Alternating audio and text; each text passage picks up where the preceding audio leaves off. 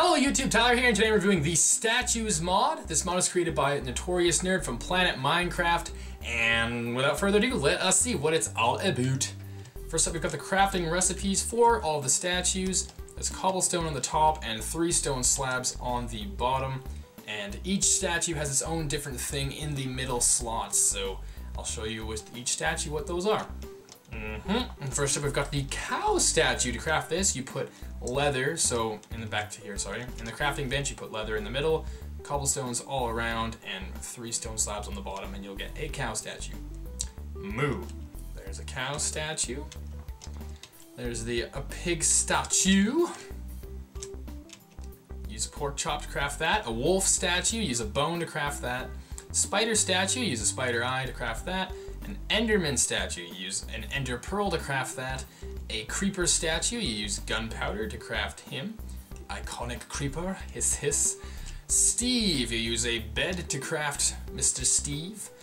And last but not least, the zombie statue, you use rotten flesh in the middle of the crafting bench to craft his person. Yep. Righto.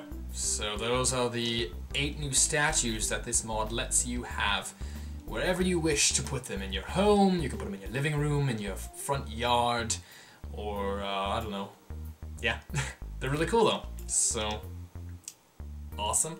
And what has just recently been added to this mod is color, which is really cool. Basically, you can add a dye to the statues in the crafting bench, and I'll go over really quickly with you what you have to add to dye each statue. So the cow, you use cocoa beans.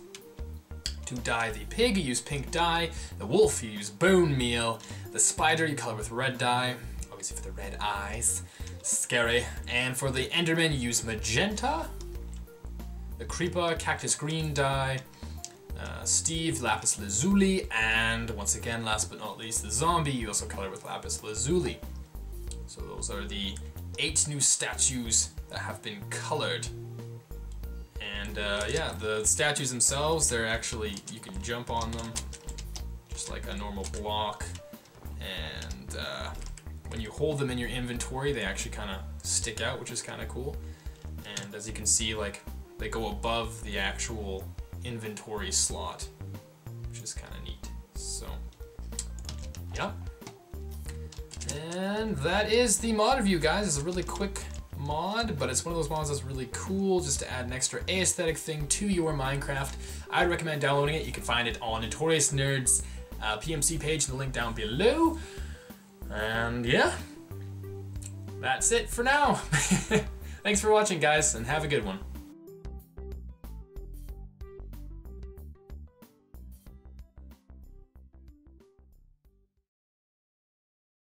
Hello YouTube, Tyler here, and today I'm reviewing Notorious Nerds.